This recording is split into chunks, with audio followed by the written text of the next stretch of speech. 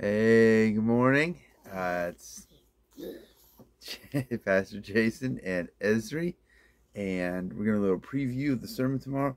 Uh, tomorrow we're looking at Zechariah chapter 10. Uh, but there's two other uh, chapters I recommend if you, if you want to read ahead of time uh, to see where we're going. Isaiah 43 and Lamentations chapter 3.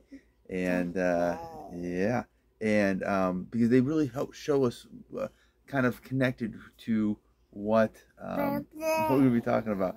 Because God has uh, a lot for us. Uh, but three of the things we're going to talk about tomorrow is God has peace, and God has hope, and God has strength.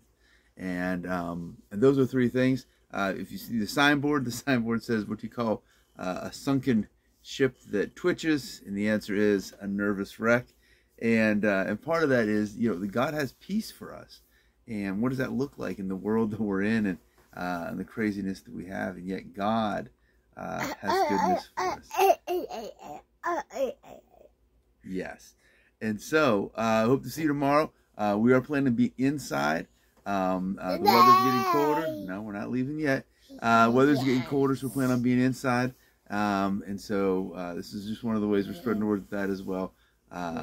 Uh, but uh, for both services, uh, 8.30 and at 10. And um, God, again, uh, has peace and hope and strength for you. Let's pray.